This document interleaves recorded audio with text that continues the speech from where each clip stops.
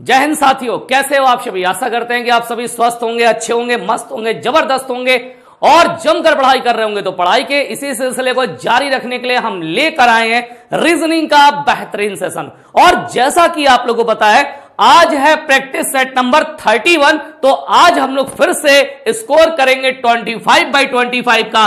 और देखते हैं कितने ऐसे बच्चे हैं जो इस स्कोर को पूरा करते हैं। चलिए स्टार्ट किया जाए। और जैसा कि आप लोगों को पता है कि हमारा जो रेलवे एलपी है, railway technician grade three, complete foundation batch तो भाई बिल्कुल देर ना करें। इस कंप्लीट फाउंडेशन बैच को लेने के लिए नीचे दिए गए नंबरों पे कॉल करेंगे। और ये रहा आज के सेशन का पहला क्वेश्चन। तो सभी बच्चों को बताना है, आज के सेशन का पहला क्वेश्चन क्या होगा इसका आंसर?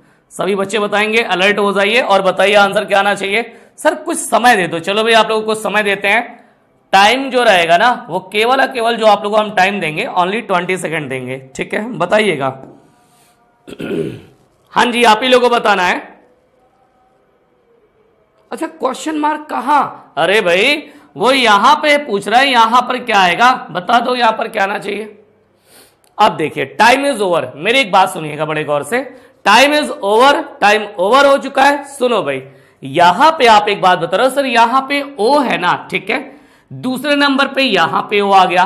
फिर देखो भाई, यहाँ पर पहले पे वन, फिर यहाँ पे टू पर, यहाँ पर थ्री पर, यहाँ पर जब फोर पे है तो ज़ाहिर सी बात है, यहाँ पर कहाँ पे आएगा?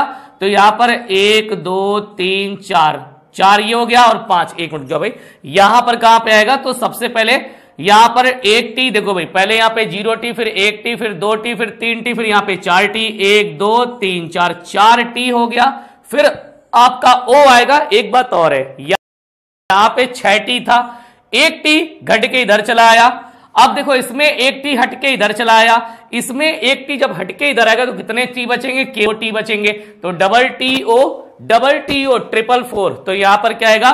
ट्रिपल टी क्लियर हो गया? ट्रिपल नहीं four times T right answer option number B होगा। ठीक है? कितने बच्चों ने ऑप्शन दिया बी दिया भाई?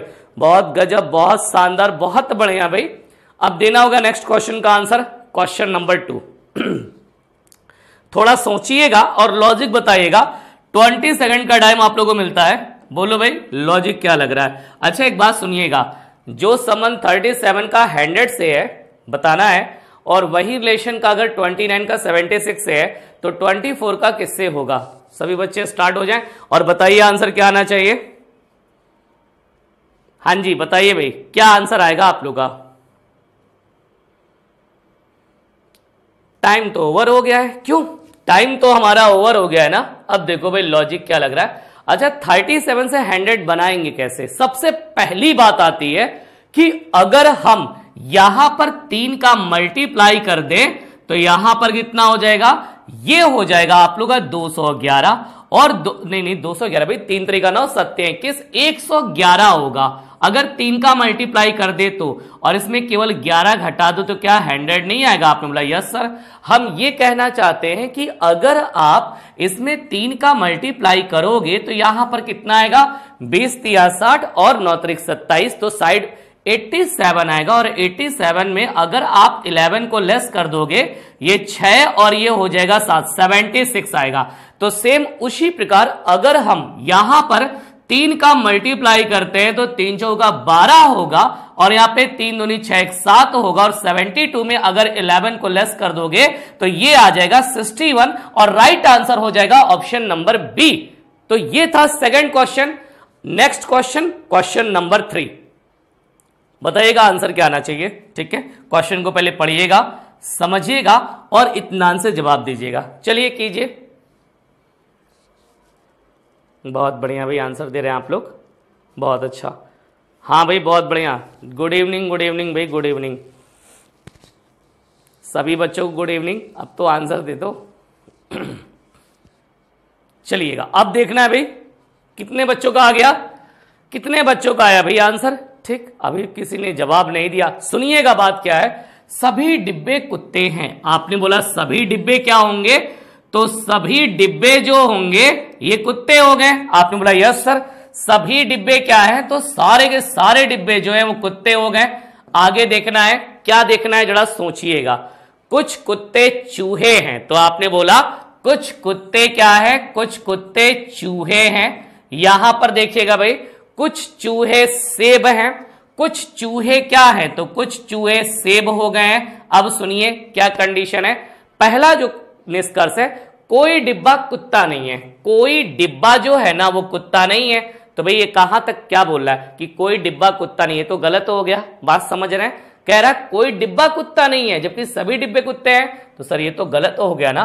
कुछ कुत्ते चूहे नहीं है। कुछ कुत्ते चूहे नहीं है। अच्छा देखो, कुछ कुत्ते चूहे हैं तो कुछ कुत्ते चूहे नहीं है। बिल्कुल सही बोल रहा है। अब सुनिएगा, कुछ सेब चूहे हैं। क्या ये बात सही है? कुछ सेब जो हैं वो चूहे हैं, बिल्कुल सही है। यानी आप लोग का यहाँ पे केवल दूसरा और तीसरा अरे अरे, लेकिन इसमें तो आ नहीं रहा दूसरा, तीसरा। क्या होना चाहिए भाई? कोई डिब्बा कुत्ता नहीं है तो गलत हो गया, बिल्कुल सही। कुछ कुत्ते चूहे नहीं हैं। कुछ कुत्ते जो हैं, कहाँ गए? कुछ कुत्ते चूहे हैं तो कुछ कुत्ते चूहे नहीं हैं। ठीक है भाई? अच्छा कुछ कुत्ते चूहे नहीं हैं। चलो भाई कुछ सेब चूहे हैं तो यहाँ पर क्या है, कुछ सेब चूहे हैं। ठीक, बिल्कुल सही। कुछ चूहे कुत्ते ने डाउटफुल है, हो भी सकते हैं, नहीं भी हो सकते, ये गलत होगा भाई। केवल तीसरा सही होगा। Right answer option number A होगा। डाउटफुल है भाई, दूसरे में हो भी सकता है, नहीं भी हो सकता है। नेक्स्ट अब बताएगा लॉजिक आप लोगों को बताना है कि इस क्वेश्चन में क्या लॉजिक लगाएँ कि हमारा आंसर आ जाए। ठीक है, सभी बच्चे अलर्ट हो जाएँगे और केवल 30 सेकंड के भीतर आप लोगों को आंसर देना होगा। बताइए लॉजिक क्या लग रहा है? हाँ भाई हाँ बिल्कुल। नहीं डाउटफुल है ना, इसलिए हमने क्या काट दिया था? बताइएगा। लॉजिक लगाइए, इसमें आना क्या चाहिए? एक मिनट एक मिनट, जरा सुन लीजिएगा। अगर हम एक काम करें लॉजिक ये है ना, कि अगर हम इन दोनों से क्या बत्तीस बना सकते हैं? नहीं। अगर एक काम करें तो लॉजिक बड़ा सिंपल हमको समझ में आ रहा है। अगर इसमें इसका मल्टीप्लाई कर दो, देख लो भाई लॉजिक हमको समझ में जो आ रहा है ना, कुछ इस टाइप से है। ऐसा लग रहा है कि यही आंसर आप लोग आएगा। देखो भाई, अगर हम तेईस में इसमें तीन का मल्टीप्लाई कर दे, कितना होता है? Sixty nine. और 69 में अगर फिर से तीन को, तीन का गुणा करके यही संख्या तीन को जोड़ दो तो आ जाएगा 72 हम एक बात कह रहे हैं, अगर इसमें आप चार का मल्टीप्लाई कर दो, कितना आएगा? तो आपने बोला चार दूनी आठ। ठीक है भाई, बहुत अच्छी बात है। और यहाँ पे चार तिया बारह और 128 में अगर चार को जोड़ोगे, कितना आएगा? आपने बोला 132 सेम वही काम इसमें करेंगे। अगर आप इसमें पाँच का मल्टीप्लाई करते हो तो सोलह पंचे अस्सी होगा और पाँच अगर इसमें जोड़ोगे तो 185 आएगा। सॉरी सोलह पंचे अस्सी और पाँच जोड़ोगे तो 85 आएगा तो राइट आंसर हो जाएगा 85 और option A is right answer clear हो गया होगा क्वेश्चन अगर हम क्वेश्चन नंबर नेक्स्ट की बात करें, बताओ इसमें लॉजिक क्या लग रहा है? सोचिएगा, समझिएगा। कह रहा है कि इसका सीक्वेंस देखो क्वेश्चन है ना, क्या कहा गया है? इसको सार्थक क्रम में लगाएँ, एक सीक्वेंस से लगाना है। और ये पहचानना है कि ये सीक्वेंस क्या है, ठीक है? सभी बच्चे सीक्वेंस को पहचान के ऑप्शन को देखेंगे, कौन सा ऑप्शन सही होना चाहिए। बिल्कुल साइड हो गए हैं भाई। जो स्टूडेंट कह रहे सर साइड नहीं तो हम बिल्कुल साइड हो चुके हैं, ठीक है?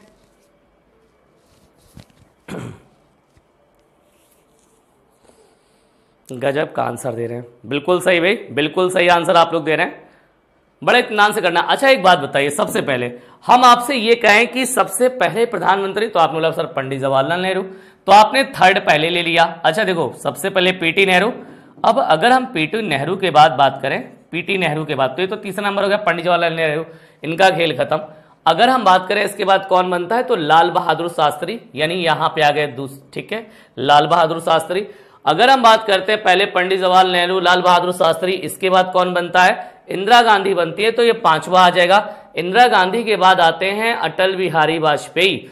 तो यहाँ पे अटल बिहारी वाजपेयी का लास्ट में आते हैं मनमोहन सिंह। देखो भाई, यहाँ पे 315 24 कहीं है तो आपने बोला, yes sir 315 24 option number D में है। तो डी हमारा एग्जैक्ट और राइट आंसर हो जाएगा। क्लियर तो सही जवाब क्या हो जाएगा? ऑप्शन नंबर डी और काफ़ी बच्चे मतलब सभी बच्चे आंसर डी बोल रहे हैं। बहुत बढ़िया, शानदार। अब इस क्वेश्चन में सॉरी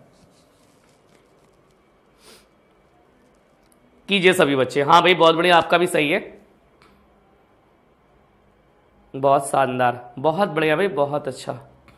करो बच्चों, बताइएगा इसका आंसर क्या आना चाहिए?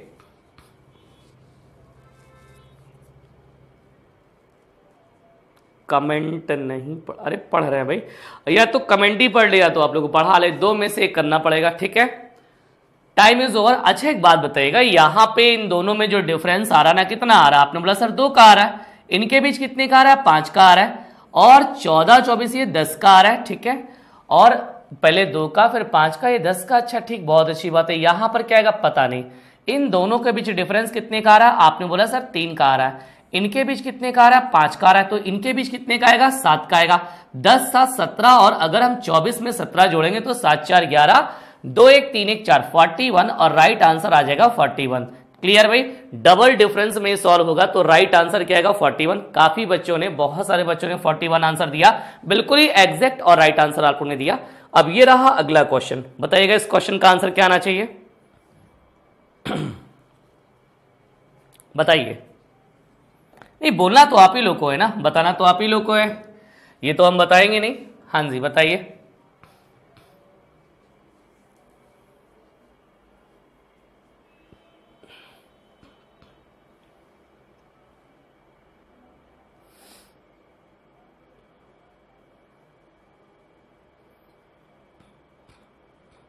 टाइम इज़ ओवर अच्छा मेरी एक बात सुनिएगा। नीरज रिंकू का पिता है। क्वेश्चन ये बोला गया है, जो नीरज है ना, नीरज, ये किसका पिता है? नीरज जो है, वो पिता है। किसका पिता है? रिंकू का पिता है। तो आपने बोला, सर, जो नीरज है, वो पिता है और किसका पिता है? ये है रिंकू का पिता तो यहाँ पर रिंकू आ गया। ठीक है? एक छोटी सी बात। जिया और टिया रूबी की बेटियाँ हैं। जिया और टिया किसकी बेटियाँ हैं? रूबी की बेटियाँ हैं। जो रिंकू की इकलौती बहन है। रिंकू की इकलौती बहन कौन है? रूबी। रूबी जो है, रिंकू की इकलौती बहन है और इसकी बेटियाँ कौन है? जिया और टिया। जिया और टिया क्या है? इसकी इकलौती सॉरी ये बेटियाँ हैं। सुनिएगा, विष्णु जो है, रिंकू और गीता का पुत्र है। रिंकू और गीता का पुत्र कौन है? तो रिंकू और गीता का पुत्र जो है, वो विष्णु है। तो रिंकू और गीता का पुत्र नहीं इन दोनों की शादी हुई है। रीता और विष्णु, रीता, रिंकू और गीता का पुत्र है। ठीक है भाई तो विष्णु कौन जगह गीता और रिंकू का पुत्र होगा। एक छोटी सी बात जरा सुनिएगा। यहाँ पे पूछा गया नीरज का टिया से क्या संबंध है? छोटा सा क्वेश्चन। नीरज का टिया से क्या संबंध है? नीरज जो है, वो टिया के क्या लगेंगे? तो आपको पता है, बेटी की जो बेटी होती है, वो तो नातिन लगती है। लेकिन भाई, ये बताओ, मम्मी के जो पापा होते हैं, उनको क्या बोलते हैं? तो आप लोग बोलोगे, सर, उनको नाना बोलते हैं। तो राइट आंसर यहाँ पर क्या आ जाएगा? नाना, ठीक है? कुछ बच्चे जो मामा बोल रहे हैं, भाई, फिर से गौर से सुन ले क्वेश्चन मामा नहीं है।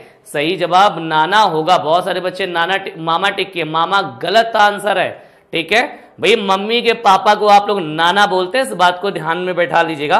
नेक्स्ट क्वेश्चन आप बताइए, आपके सामने क्वेश्चन ये कहा गया है कि अगर इनमें से हम किन दो साइनों को चेंज कर लेंगे, किन दो चिन्हों को बदलने की यह हमारा जो क्वेश्चन है वो बैलेंस हो जाए? बताइए।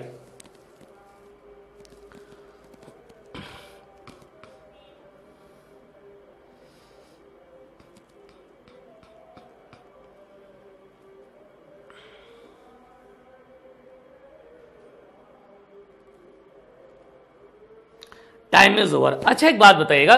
हमें ये लग रहा है ना कि अगर हम लोग सबसे पहले माइनस की जगह प्लस और प्लस की जगह माइनस कर दे, कोई दिक्कत नहीं। जरा सॉल्व करते हैं। बारह चौका अड़तालीस, ठीक, बहुत अच्छी बात है। लेकिन ये चौवन गुणे आठ लगता नहीं कि बहुत ज़्यादा बड़ा हो जाएगा और घटाएँगे तो कभी चौबीस पॉसिबल नहीं किया जाएगा तो सर, ये तो हमारा गड़बड़ हो गया। ऑप्शन नंबर बी को उठा लो भाई। ऑप्शन नंबर बी क्या कह रहा है? जहाँ पे डिवाइड है, वहाँ पे माइनस कर दो। जहाँ माइनस है, वहाँ पे डिवाइड कर दो। चेक कर लिया जाए। 54 फोर इंटू एट और यहाँ पे मल्टीप्लाई एक बटे आठ माइनस का 12 प्लस का 27 चेक कर लिया जाए। अगर काटेंगे तो आठ छिंग अड़तालीस आएगा छह छह में चौवन, यहाँ पे नौ आएगा। और नौ माइनस का बारह प्लस का सत्ताईस। एक बात बताओ, सत्ताईस में नौ जोड़ेंगे कितना आएगा? छत्तीस। बात समझ में आ रही? भाई नौ सत्ताईस छत्तीस, और छत्तीस में अगर बारह घटाएँगे, छत्तीस में अगर बारह घटाएँगे तो कितना आ जाएगा भाई? छह में से दो गया चार, और तीन में से एक गया दो तो चौबीस बराबर चौबीस, और राइट आंसर हो जाएगा ऑप्शन नंबर बी तो हमारा सही जवाब क्या हो जाएगा? ऑप्शन नंबर बी टिक कर लीजिए। नेक्स्ट क्वेश्चन अब बताओ भाई। ठीक, बहुत अच्छा। हाँ आप सब लोग का सही है। बहुत शानदार, बहुत बढ़िया। अब देना होगा इस क्वेश्चन का आंसर क्वेश्चन नंबर नाइन बताइएगा आंसर क्या आना चाहिए? एक बार सभी बच्चे इस क्वेश्चन का जवाब देंगे।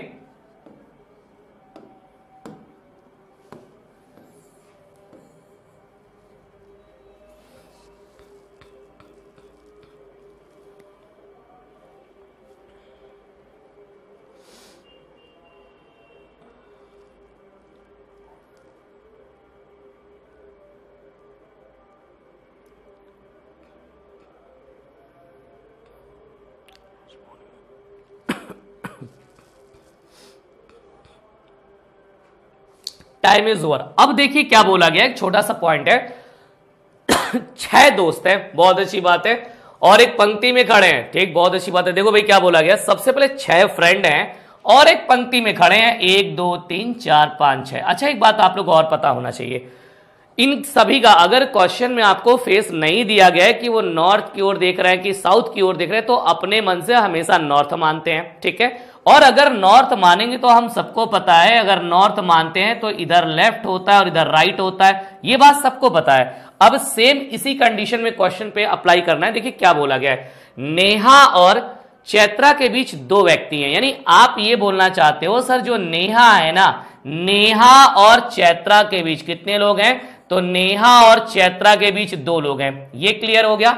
अगला पॉइंट ये कहा गया है, कल्पना ठीक राशि और नेहा के बीच में है।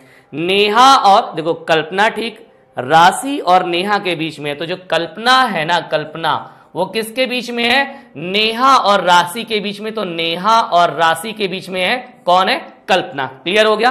अब देखिए क्या बोला गया हेमंत चैत्रा के पड़ोस में खड़ा है। हेमंत जो है ना, ये चैत्रा के पड़ोस में खड़ा है। तो हेमंत ये खड़ा हो गया, चैत्रा के पड़ोस में। ठीक है, कोई दिक्कत नहीं। नेहा पंक्ति के एक छोर पर है। तो नेहा, अरे अरे तो गड़बड़ हो गया भाई। नेहा पंक्ति के एक एंड पे है। तो चैत्रा और तने के बीच कौन खड़ा? भाई, जो हम लोगों ने माना है, ये गड़बड़ा माना है, ठीक है? अब करना क्या पड़ेगा, जरा सुन लीजिएगा, क्योंकि नेहा पंक्ति के एक छोर पर है। तो भाई, यहाँ पे नेहा को पंक्ति के एक छोर पर बैठाना है। हमने यहाँ पर नेहा को बैठा दिया। नेहा पंक्ति के एक छोर पर इस लाइन को ध्यान दो भाई। अब देखो क्या बोला गया है। कहा गया नेहा और चैत्रा के बीच दो व्यक्ति हैं। तो नेहा और चैत्रा के बीच कितने व्यक्ति हैं? नेहा और चैत्रा के बीच दो व्यक्ति हैं। अगला पॉइंट क्या बोला गया है? कहा गया है भाई, कल्पना ठीक राशि और नेहा के बीच में है। कल्पना ठीक राशि और नेहा के बीच में है। तो कल्पना ठीक राशि और नेहा के बीच में कौन है? कल्पना है। चलो भाई, बहुत अच्छी बात है। अब सुनेगा। हेमंत चैत्रा के पड़ोस में खड़ा है। तो जो हेमंत है ना, वो चैत्रा के पड़ोस में खड़ा है। आगे, नेहा पंक्ति के एक छोर पर है। तो चैत्रा और तनय के बीच कौन खड़ा है? अच्छा एक बात बताइए। चैत्रा और तनय के बीच, यहाँ पे लास्ट में तनय बचेगा। तो चैत्रा और तनय के बीच हेमंत खड़ा है तो राइट आंसर आ जाएगा ऑप्शन नंबर बी हेमंत, इसका सही जवाब होगा। सभी बच्चों ने बहुत बढ़िया जवाब दिया है। अब ये रहा अगला क्वेश्चन थोड़ा सा माइंड लगाइएगा और बताइएगा इसमें आंसर क्या आना चाहिए। जल्दी से बता दीजिए आप लोग, ठीक है? बताओ लॉजिक क्या लग रहा है और आंसर बताइएगा।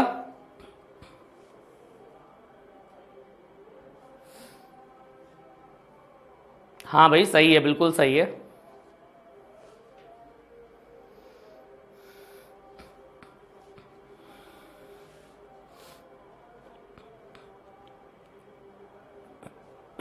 टाइम इज़ ओवर अच्छा देखिएगा एक छोटा सा पॉइंट अगर हम यहाँ पे काम करें, अगर इन छह में चौवन, नहीं, ये तो बनेगा नहीं।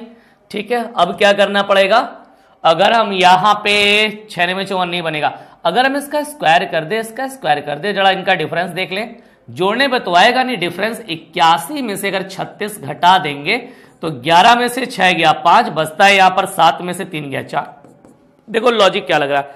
अगर हम स्क्वायर करके दोनों का डिफरेंस ले ले तो आंसर उनचास में से 16 48 कभी आएगा? बिल्कुल नहीं। यहाँ पे 16 में से 4 गया 12 कभी आएगा नहीं। अगर ये दस है सौ में से अगर अठी चौसठ घटा देंगे कितना आएगा आप लोग का? छत्तीस बिल्कुल राइट आंसर ऑप्शन सी बिल्कुल सही जवाब होगा। दोनों के डिफरेंस स्क्वायर करके डिफरेंस ही हमारा आंसर रहेगा। बिल्कुल सही जवाब। जिन बच्चों ने ऑप्शन नंबर सी दिया ए बच्चा इसमें डी नहीं होगा। जो बच्चे डी देख लो भाई डी नहीं होगा। डी कैसे हो जाएगा? डी गलत आंसर है। आप यहाँ पर द, दस का स्क्वायर करोगे आठ का स्क्वायर करोगे घटा दोगे तब हमारा छत्तीस आएगा। नेक्स्ट मिरर इमेज की पहचान है भाई। आप बताओ, इसमें मिरर इमेज बताना है। मिरर इमेज की पहचान होती है कि लेफ़्ट का राइट होता है, राइट का लेफ़्ट होता है। कभी भी टॉप बॉटम बदले नहीं जाते हैं। अब ये आपको तय करना है कि इसका सही जवाब क्या होना चाहिए। अच्छा एक बात समझिएगा। आपने कहा, सर, सबसे स्टार्टिंग में बी है तो सबसे स्टार्टिंग में बी है इधर। लास्ट में डी होना चाहिए, लेकिन इसमें तो फाइव है तो ये तो होगा नहीं। इसमें फाइव ये तो होगा नहीं। इन दोनों में कोई ना कोई होगा।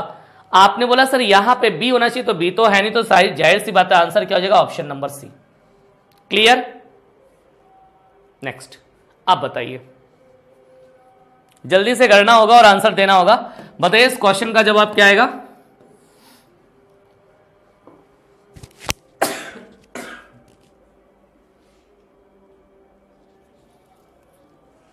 लॉजिक तो आप ही लोग को लगाना है और आंसर आप ही लोग को देना है।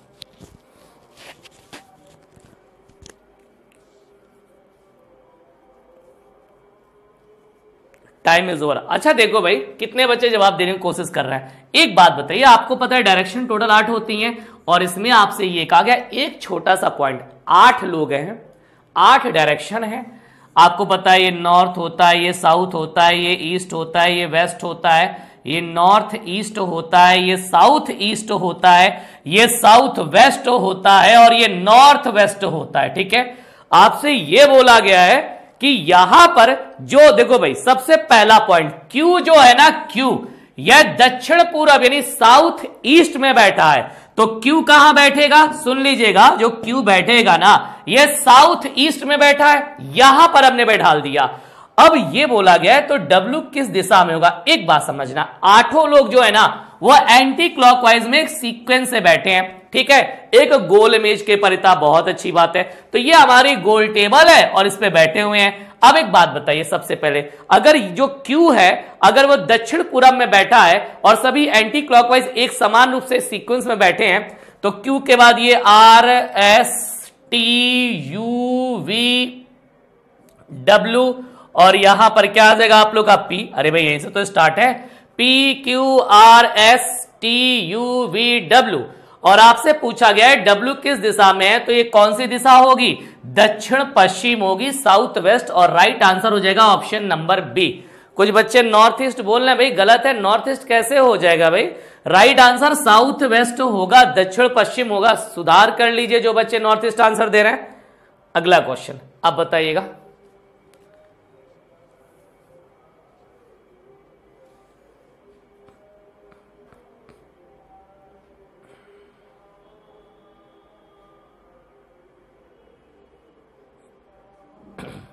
नहीं, इसमें समय नहीं देंगे। कितना छोटा क्वेश्चन है और करना आप लोग को है। देखो भाई, इसमें तो कुछ है ही नहीं, बिल्कुल हलवा क्वेश्चन है। आपसे यही तो कहा जा रहा है कि एक जॉगर एक किलोमीटर पूरब में गया, उत्तर की ओर मुड़ता है, फिर चार किलोमीटर तय करता है। देखो भाई, यहाँ पर एक किलोमीटर कहाँ गया? पूरब में। उत्तर की ओर मुड़ा और चार किलोमीटर तय किया। फिर कहा गया? पश्चिम की ओर मुड़ता है और छह किलोमीटर चलता है, छह चला। फिर कहा गया? फिर वह अपने बाई ओर मुड़ता है और चार चलता है। बाई ओर मुड़ा तो बाई ऊपर की नीचे, भाई, नीचे आ जाएगा। अगर लेफ़्ट सॉरी बाई ओर मुड़ता है भाई तो बाई कहाँ होगा? ये जो बाया होगा, आप लोगों को पता है, सर, अगर हम देखते हैं ईस्ट की ओर तो लेफ़्ट ऊपर राइट नीचे। लेकिन अगर हम बात करें इसमें तो लेफ़्ट यानी बाया नीचे होगा राइट ऊपर होगा। तो ये कहा गया, फिर लेफ़्ट मुड़ता है और चार किलोमीटर दूरी तय करता है। बहुत अच्छी बात है।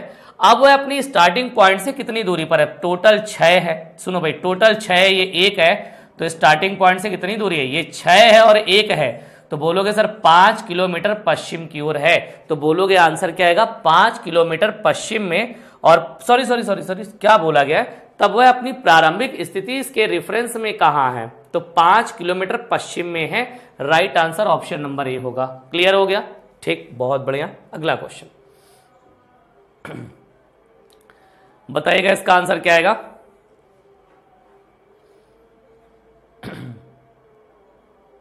अरे तो बिल्कुल ही सिंपल है, कुछ नहीं किया गया है। अगर आप देखो भाई क्या बोला गया, अगर इसको बिल्कुल आराम से देखोगे तो बड़ा आराम से क्वेश्चन समझ में आ जाएगा। बस समझने की बात है, कैसे समझे और कैसे कर लें। देखो भाई, इसमें आंसर क्या आना चाहिए? छोटा सा पॉइंट आपको समझा रहे हैं। कुछ भी क्वेश्चन में नहीं है। आपको पता है, इसका अपोजिट ये होगा, इसका अपोजिट ये होगा, इसका अपोजिट ये होगा। क्या बोला गया है? कि बताइए कि जो ओपन डाइस है, वो किस डाइस को खोला गया? हम आपसे कह रहे हैं, छह का अपोजिट चार होगा। एक का अपोजिट दो होगा, तीन का अपोजिट पाँच होगा। और जो चीज़ अपोजिट होती है वो कभी भी आप लोग के बगल में तो आएगी नहीं। तो आपने बोला, सर, यहाँ पर एक और दो, ये अपोजिट है, लेकिन ये तो बगल में दिखा रहे तो ये तो पॉसिबल है नहीं। एक, दो वाली कंडीशन यहाँ पे भी पॉसिबल नहीं है। तीन और पाँच अपोजिट है, जबकि यहाँ पे बगल में है तो ये भी नहीं होगा। तो ज़ाहिर सी बात ऑप्शन कौन सा होगा? डी होगा। सभी बच्चों का डी आ रहा है। बहुत शानदार। आप बताइएगा क्वेश्चन नंबर सिक्सटीन बताइए।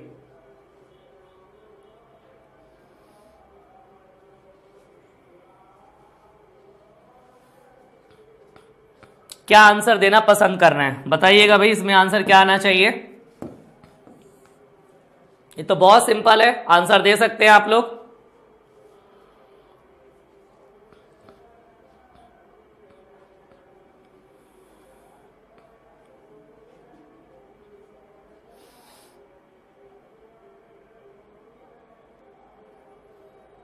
टाइम इज़ ओवर अच्छा मेरी एक बात सुनिएगा। अगर हम क्यू है, सत्रह है, सत्रह में तीन जोड़ेंगे, मेरी बात हर चीज़ को बड़े गौर से समझते चलिए और करते चलिए। अगर हम सत्रह में तीन जोड़ेंगे तो ये आ जाएगा बीस। बीस बराबर होता है टी, ठीक है? बीस में तीन जोड़ेंगे तेईस तेईस में तीन जोड़ेंगे छब्बीस, ठीक है? बहुत अच्छी बात है। मेरी एक बात सुनिएगा, टी तो आ गया किसी अरे बस बस बस, कुछ सोचना ही नहीं। अगर एग्ज़ाम में बैठोगे ना तो अगर टी आ गया तो बताओ इन चारों में पहले पे, पहले प्लेस पर टी किसमें है? तो आपने बोला डी में तो राइट आंसर हो जाएगा ऑप्शन नंबर डी डी हमारा बिल्कुल एग्जैक्ट और एक्यूरेट आंसर आएगा। अगर हम बात करते हैं नेक्स्ट क्वेश्चन की तो बताइए क्वेश्चन नंबर बोलो भाई, इस क्वेश्चन में क्या लॉजिक लग रहा है?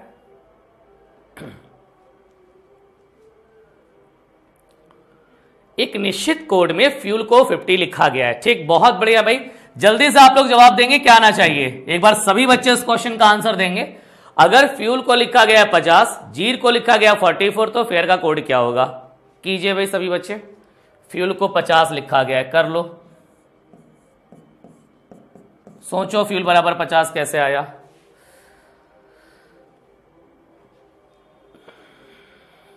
अब देखिएगा, सुनिएगा हम क्या कह रहे हैं। एफ़ बराबर छ यू बराबर इक्कीस ई बराबर आता है आप लोगों का कितना? पाँच और एल बराबर बारह। एक बात सुनिएगा, अगर हम यहाँ पे काम करें, बारह और छ अट्ठारह अट्ठारह पाँच, तेईस तेईस तेईस, छियालीस, दो घटा देंगे। कितना आएगा आप लोग का? छियालीस में दो घटाएँगे तो आएगा चौवालीस। यानी इन सबको जोड़ने पर फोर्टी फोर आ रहा है और अगर अपने मन से छह जोड़ देंगे तो आएगा पचास। क्या वो लॉजिक इसमें मैच कर रहा है? चेक कर लेते हैं। जे बराबर दस, ये पाँच, पंद्रह और पाँच, पंद्रह। ये हो गया बीस और आठ अट्ठारह और इनको जोड़ेंगे तो कितना आएगा? अड़तीस। और अड़तीस में अगर अपने मन से छह जोड़ेंगे तो क्या फोर्टी फोर आ रहा है? बिल्कुल राइट है।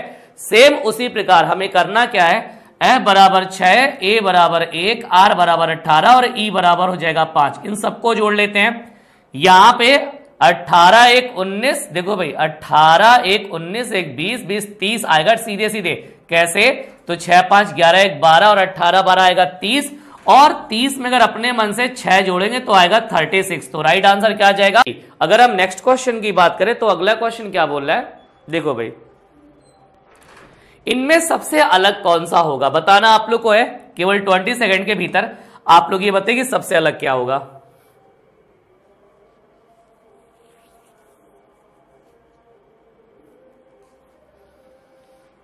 बहुत इजी क्वेश्चन है, बस थोड़ा सा ध्यान दीजिएगा, थोड़ा सा लॉजिक लगाइएगा। बहुत सही, कुछ बच्चे जवाब तुरंत दे रहे हैं भाई। क्या बात है? अच्छा एक बात बताइएगा अगर हम इसमें पाँच का मल्टीप्लाई कर देंगे तो मालूम कितना आ जाएगा? ये आपकी वैल्यू आ जाएगी कितने? तो भाई, ये हो जाएगा छप्पन हज़ार आठ सौ पिचासी। इसी प्रकार, अगर हम इसमें पाँच का मल्टीप्लाई करते हैं तो ये कितना आ जाएगा? ये आ जाएगा ठीक, बहुत अच्छी बात है। यानी ये हमारा चौहत्तर हज़ार दो सौ पैंतीस। अगर हम इसमें भी पाँच का मल्टीप्लाई कर दें तो वैल्यू कितनी बयासी हज़ार छह सौ पंचानवे। लेकिन लेकिन लेकिन यहाँ पर हमें एक चीज़ दिख रहा है, अगर पाँच से मल्टीप्लाई करेंगे तो यहाँ पर पाँच एक कम पाँच, लेकिन पाँच में ज़ीरो का करेंगे तो यहाँ पे ज़ीरो आएगा, जबकि यहाँ पर एक है। तो भाई, ज़ाहिर सी बात है आपका सबसे अलग क्या हो जाएगा ऑप्शन नंबर बी यानी सब में पाँच का गुणा है, जबकि इसमें पाँच का गुणा करने पर वो संख्या नहीं आएगी। अगला क्वेश्चन अब बताइएगा, इनमें सबसे अलग क्या है? हाँ जी, बोलना तो आप ही लोग को है, बताना तो आप ही लोग को है।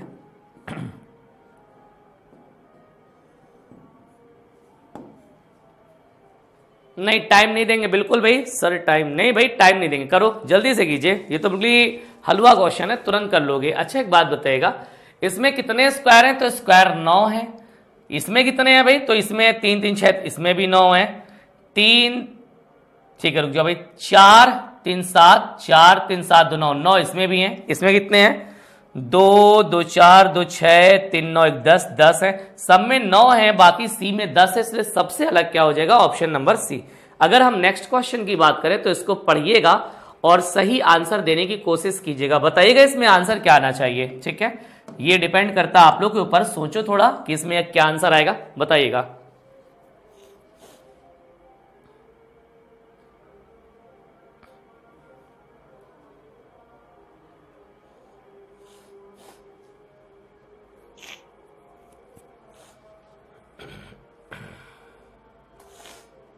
Time is over. अच्छा मेरी एक बात सुनिएगा। क्या बोला गया है?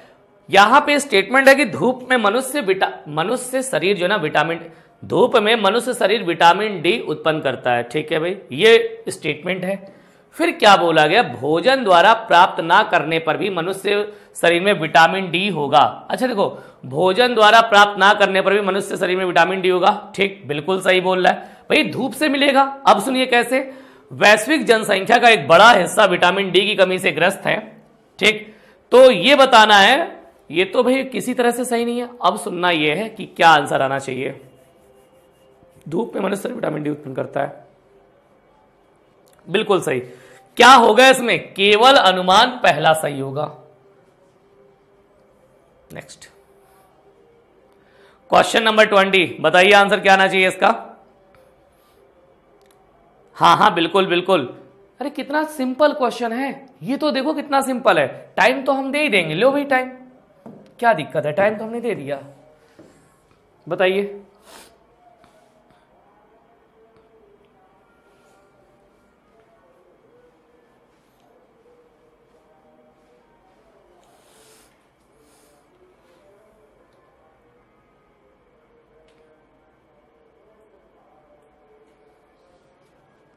टाइम इज़ ओवर अब सुनिए क्या बोला गया तस्वीर में एक आदमी की ओर इशारा करते हुए अनीता ने कहा। अनीता ने क्या कहा? उसकी माँ की तस्वीर में फ़ोटो में एक आदमी की ओर इशारा करते हुए अनीता ने कहा, उसकी माँ की इकलौती बेटी मेरी सास है। यानी, तस्वीर में एक आदमी है। इस आदमी की ओर इशारा करते हुए अनीता कहती है, क्या कहती है कि उसकी माँ, यानी इसकी माँ की तो भाई बताओ, उस आदमी की जो माँ है ना उसकी माँ की, ठीक है, इकलौती बेटी। तो उसकी माँ की जो इकलौती बेटी है, वो कौन है? अनीता की सास है। अनीता की सास होगी, यानी अनीता की सास तभी होगी जब अनीता का कोई पुत्र होगा। दोनों ने शादी की होगी। तो भाई आपसे पूछा गया है कि अनीता का, जो अनीता का आदमी है, सॉरी तो पूछा गया, अनीता उस आदमी की क्या है? अनीता जो है, उस आदमी की क्या है? बताइए भाई। क्या होगी?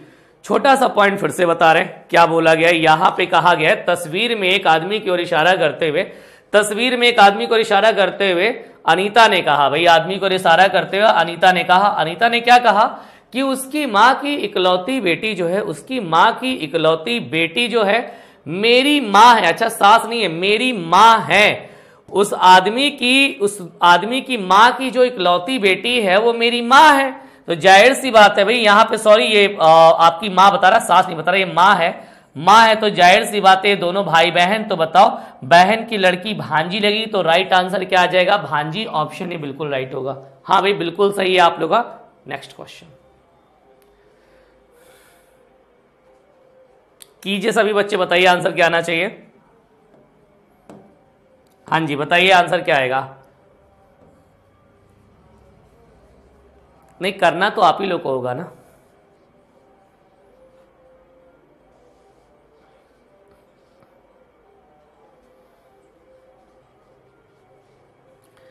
बताइए, किन दोनों चिन्हों को बदल दिया जाए? कितने बच्चों का आ गया है? बहुत शानदार भाई, सभी बच्चा। भांजी भांजी, बिल्कुल सही है।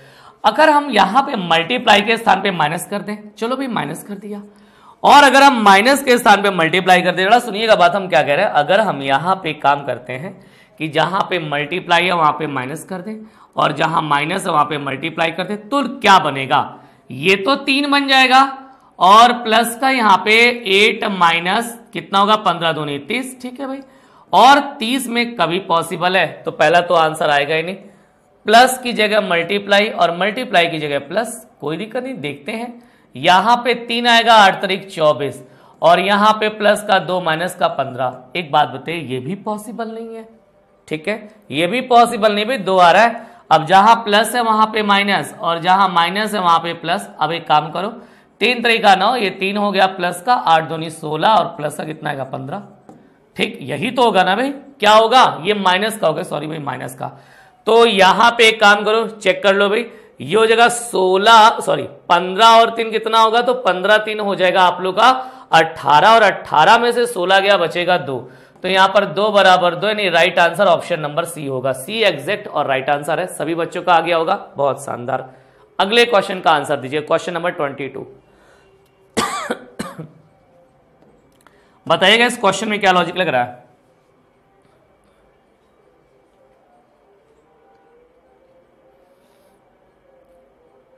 अरे, इसमें केवल 10 सेकंड का आंसर है भाई। ये बताइएगा, सुनिएगा। ये भारतीय हो गए ये चिकित्सक हो गए और स्त्रियाँ हो गई। अच्छा बताओ, कुछ भारतीय क्या होंगे? चिकित्सक होंगे और उसमें कुछ क्या होंगी? कुछ भारतीय महिलाएँ होंगी? तो राइट आंसर क्या आ जाएगा?